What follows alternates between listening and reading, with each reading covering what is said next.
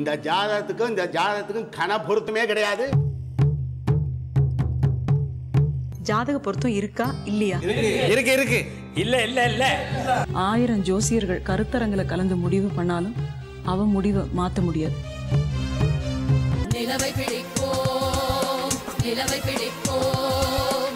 இன்று இரவு எட்டு ஒன்றுக்கு நிலவை பிடிப்போம். காண தவறாதீர்கள்.